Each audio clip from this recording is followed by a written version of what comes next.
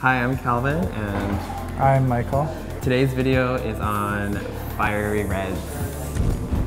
and this is the brush vlog. In today's video, we have four different ladies, all going for the same Emma Stone red color.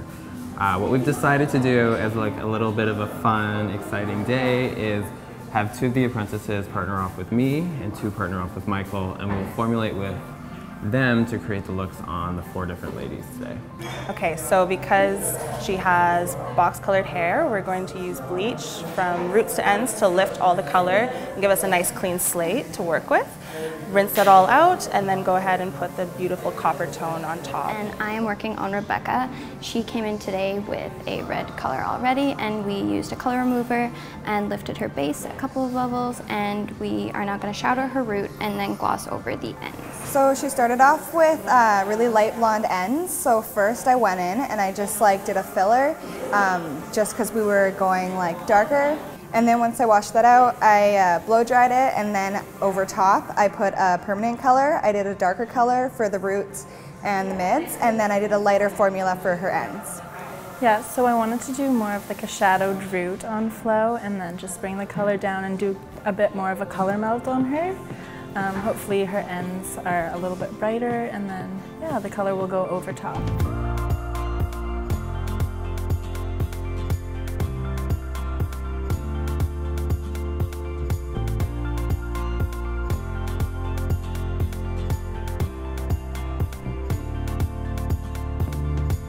So we just filled, we, Emily just filled Janine's hair. So this is just step one because we're going from blonde to a copper. We want to make sure we get the pigment in the hair first. So now we're going to dry and then we're going to formulate for the all over color.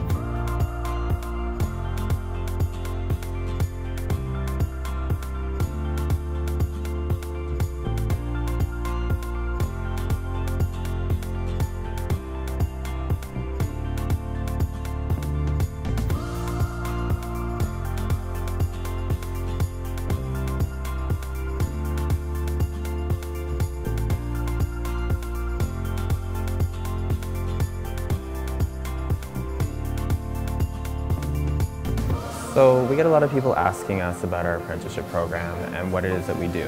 Uh, we hire people straight from hair school who have gone through a hair school program and kind of know the foundation of hair. And like I've said before, everybody comes in with a different story and a different experience and we need to be able to cater to that um, individuality in every, in every service.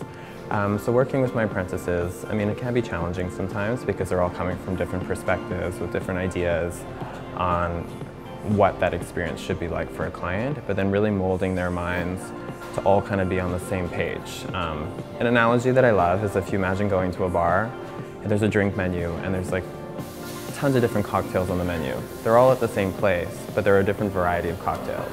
So I'd like my styles to all be a different drink on the menu, you know? Not everyone wants to have the same drink, not everybody is a Negroni person. uh, not everybody loves mojitos, but everybody will love at least one thing that's available on the menu. So let's all have a good night together.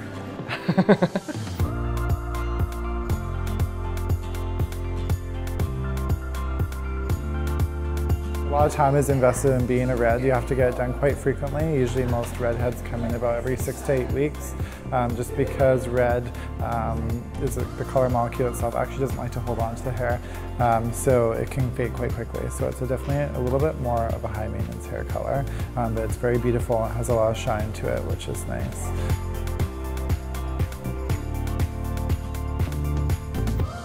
I love it. It's fun. It feels, well, I haven't done it in so long, so it feels pretty cool. I feel new, actually. I feel good. I feel very different. It's a lot lighter, brighter.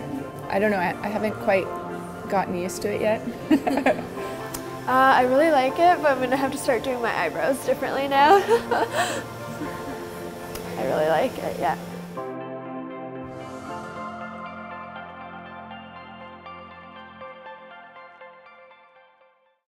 So that's our video on Reds today. Today I worked with Brittany and Emily, and Michael worked with Sabrina and Asia. So as you could see, we had four different ladies with four different starting points and four different approaches. Some were darkening and some were lightening. I hope you enjoyed it, and we will see you next week.